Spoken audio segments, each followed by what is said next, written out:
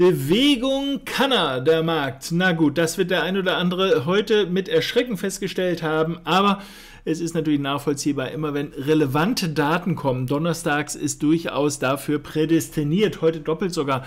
Gucken wir ganz kurz, was waren das denn für Daten und ähm, wie sieht das Ganze dann aus in der Umsetzung der Marktteilnehmer. Wir haben natürlich immer donnerstags 14.30 Uhr die Initial Jobless Claims leicht höher als erwartet, auf jeden Fall auch höher als zuvor. Und wir wissen, dass die Fed, die ja für äh, viel Bewegung sorgen kann durch ihre Zinspolitik, natürlich angedeutet hat, Arbeitsmarkt ist wichtig. Das heißt, steigende Arbeitslosigkeit ist sicherlich nicht wirklich das, was man sich idealerweise wünscht auf der Seite. Aber der Treiber heute ist mit Sicherheit eher das äh, Preisniveau, was in Amerika gestiegen ist. Ihr seht das hier CPI, da ein Consumer Price Index, hier im Jahresvergleich, hier und hier September seht ihr 8,2. Erwartet war nur 8,1. Immerhin weniger als zuvor, wenn auch nicht viel, 8,3. Aber immerhin. Außerdem ist noch die Kernrate ohne Energie und Lebensmittel dabei relevant. Auch da bleiben wir mal im Jahresvergleich. Ihr seht die anderen Zahlen selber. 6,6 und damit höher als 6,5 und äh, höher auch als zuvor 6,3. Also ein Anstieg hier. Das dürfte die Fed sicherlich nicht dazu bewegen, zu sagen, ach komm, dann lassen wir das mit den Zinsen oder wir senken bald. Nein, die Fed hat ja schon verlauten lassen, dass es wahrscheinlich schädlicher ist, keine Schritte zu unternehmen oder größere Schritte zu unternehmen, als äh, sie zu tun. Und dementsprechend spricht vieles dafür, dass Anfang November tatsächlich der nächste Zinsschritt vielleicht in ähnlicher Größe, 75 Basispunkte, dann eben erfolgen wird und das wird Spuren im Markt hinterlassen. So denken einige. So, wir wollen nicht so viel darüber nachdenken, was wir denken oder andere denken. Für mich ist viel relevanter, was tun sie? Und das ist etwas, was man wiederum im Chart sehen kann. Und wir wollen mal ganz kurz durchaus die alte Zeichnung nochmal drin lassen, dass wir so ein bisschen das nachvollziehen können, was wir da immer mal so sehen. Rücksetzer dann in diese Zone dann entsprechend rein, möglichst wackelig. Das ist jetzt hier mal symbolisch für wackelig. Wir wissen ja entweder so oder dreiwellig. Da würde man sagen können, ja, okay, das haben wir hier tatsächlich gesehen und anschließend der nächste Schub nach unten. Das ist äh, durchaus eine nachvollziehbare Bewegung mit sogar Chancen, dass es sogar noch weiter fällt. Das hängt auch so ein bisschen davon ab, wie der Kurs hier reagiert. Es bleibt aufgrund dessen, dass das nur so wenig höher ist als hier, die Rest Gefahr oder Chance, wie ihr es auch immer seht, dass wir nochmal in diese Zone reingehen, bevor wir anschließend erst nach unten gehen. Im Moment geht der Kurs hier im 5-Minuten-Chart wieder nach oben. Er korrigiert diese starke Übertreibung um 14.30 Uhr, die wir haben. Der Kurs kommt da also ein wenig hoch für die Intraday-Trader unter euch. So sieht das ganz gut aus, was wir da im Moment haben. Das gefällt mir. Das ist eigentlich ein ganz gutes bullisches Zeichen, wenn ihr im Laufe des Nachmittags irgendwie so etwas seht oder alternativ eben etwas Dreiwelliges. Streng genommen kann man auch sagen, viel schwächer halt in der Abwärtsbewegung als die Aufwärtsbewegung, dann habt ihr eine realistische Chance, dass der Kurs anschließend sogar noch mal ein bisschen weiter nach oben geht. Ungefähr diese Strecke da hinten nochmal plus x, vielleicht sogar noch mehr, aber dann hat man so eine gewisse Orientierung, wie das in etwa aussehen kann. Also ihr seht, Intraday würde ich Long gar nicht so schlecht finden, insbesondere und ganz wichtig, wenn der Kurs ganz grob dieses Verhaltensmuster zeigt. Ob er das jetzt hier so zeigt oder ob er noch länger erst steigt, bevor das passiert, das weiß ich auch nicht. Aber ich muss sagen, das kriegt man mit geschlossenen Augen fast schon hin, das zu erkennen, also zu unterscheiden, welches die stärkere, die schwächere Seite ist. Und dann tradet vorzüglich in die stärkere Seite. Die sieht aktuell zumindest mal so aus. Umgekehrt übrigens, nehmen wir mal an, wir kriegen nachher jetzt irgendwie sowas und anschließend geht der Kurs hier durch. Erinnert euch, das war eine starke Bewegung, das wäre dann wieder umgekehrt.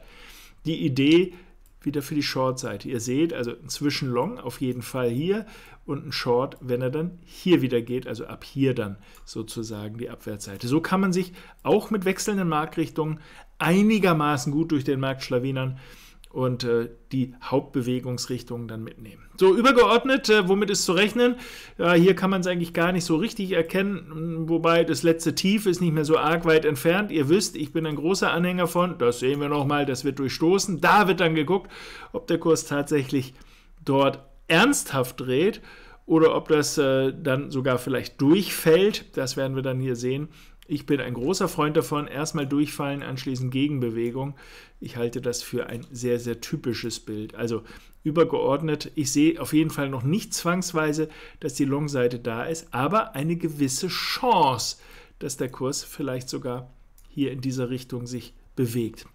Wer das kurze äh, Bild hier scheut, also sowas im 5 Minuten, 15 Minuten Chart, wie auch immer, also so kleinen Intraday nicht handeln will, der wird wohl darauf warten müssen, bis der Kurs eine etwas größere Bewegung eigentlich gleicher Art vollzieht. Da muss halt dann eben warten, bis man das Bild dann eben entsprechend sieht. Was blöderweise nicht geht, nee, das Kleine will ich nicht handeln, will aber trotzdem hier unten rein und idealerweise nicht mehr ausgestoppt werden. Wünschen kann man sich immer, aber das geht nicht notwendigerweise in Erfüllung. Das Bild ist beim S&P grundsätzlich ähnlich, nur dass er diesen Bruch hier schon erledigt hat. Machen wir das mal eine Nummer größer, dass ihr das sehen könnt. Das Tief vom 3. Oktober hier.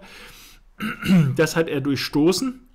Und ah, ich bin ein bisschen gewogen, dass wir das insgesamt als eine starke Abwärtsbewegung ansehen. Da kann man sich jetzt ein bisschen streiten, wie das mit der internen Aufteilung ist. Also ich würde mich gar nicht wundern, wenn wir bis dahin nochmal gehen. Und wenn das wackelig ist, umso mehr die Short-Seite. Also merkt euch mal, dass der Kurs irgendwie naja, in diese Richtung wieder zurückkommt hier. Ich finde es halt sehr, sehr typisch, sehr natürlich, dass das passiert. Also der Kurs in diese Ecke da entsprechend da rein äh, läuft. Würde mich nicht wundern. Ihr seht, ich bin latent positiv gestimmt. Ähm, zumal wir sehen, das ist jetzt hier der Nasdaq. Auch hier hatte ich das hier als eine typische Variante eingezeichnet die aber, jetzt werden einige sagen, siehst du, ist nicht so gekommen. Ja, aber es schadet ja nicht, weil wenn es nicht hochwackelt, dann long gehe ich ja sowieso nicht in wackeligen Markt. Also insofern habe ich höchstens diesen nächsten Schub hier unten verpasst wenn ich das im Kleinen nicht gesehen habe. Aber ähm, ansonsten, der fehlt also noch. Das heißt, das, was wir hier bisher haben, ich würde sogar sagen, beim Nasdaq, mal gucken, wann die nächste Korrektur hier wieder kommt, irgendwie so mittlere Zone. Merkt euch immer so diese Strecke, so halbwegs die Mitte, ein bisschen drüber, ein bisschen drunter. Dahin wackeln wäre klasse. Das heißt, entweder jetzt dreiwellig hier nach oben, da kann man also auch hier wieder ein Intraday Long vielleicht noch mitnehmen. Denkt an das Bild, was wir hier gesagt haben. So müsste das aussehen.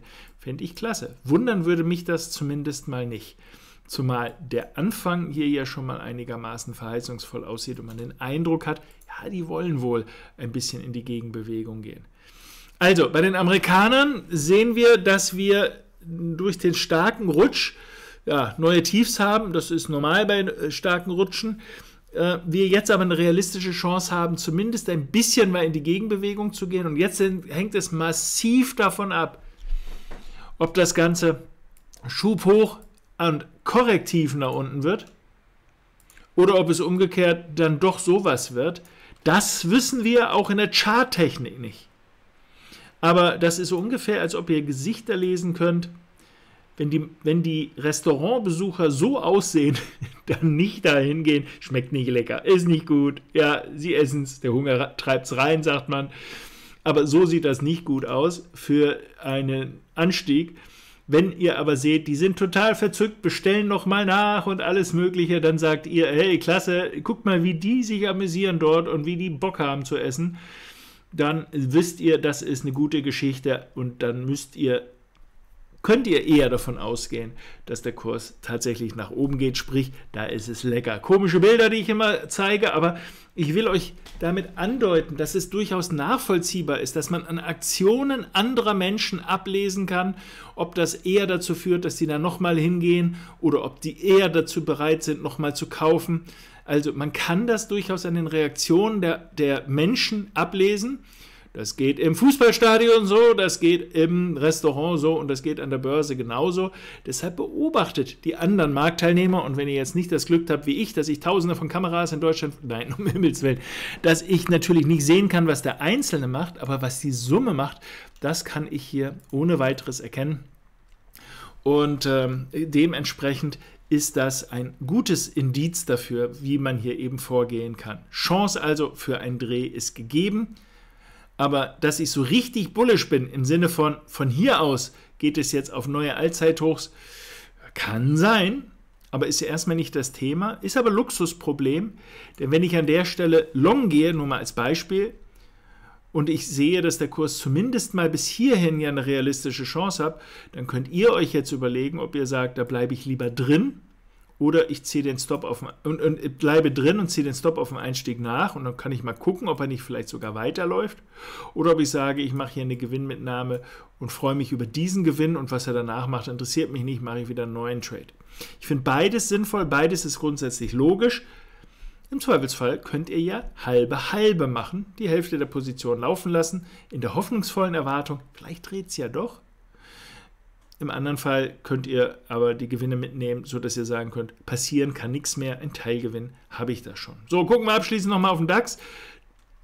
Und dann stellen wir fest, genau das gleiche. Genau, also intraday können wir davon ausgehen, ich mache es mal einmal groß, so sah das aus. Wir haben ähm, aktuell den jüngsten Schub nach oben. Das ist dieser hier. Dementsprechend wären solche Szenarien attraktiv für die Long-Seite. Ähnlich wie es hier ist, auch wenn das hier nicht so deutlich ist, aber ihr seht zumindest, also nicht, dass ihr jetzt den Eindruck habt, das hätte ich hier wahrscheinlich nicht gehandelt, weil mir der Rücksetzer zu klein ist. Ich möchte ja immer, dass der Fibonacci-mäßig hier in diesen Raum reinfällt wieder hier. Ich zeichne das jetzt mal so.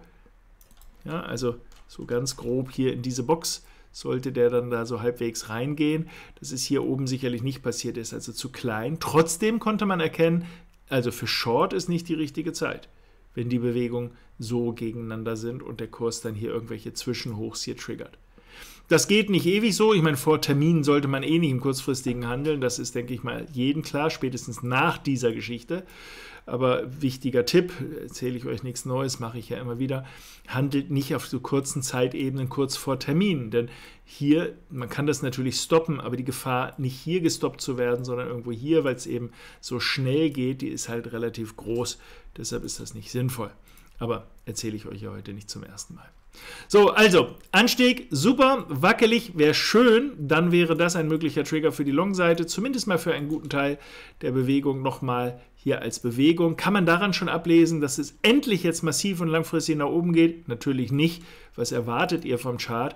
Das ist nur das Bekenntnis der heutigen Marktteilnehmer. Hm, ja, wir kaufen mal erstmal. Alles andere wird man dann sehen. So, in diesem Sinne, für heute Nachmittag habt ihr eine Idee? Worauf ihr gucken könnt und was ihr vielleicht umsetzen könnt. Euch jetzt erstmal alles Gute und ganz liebe Grüße. Ciao, ciao.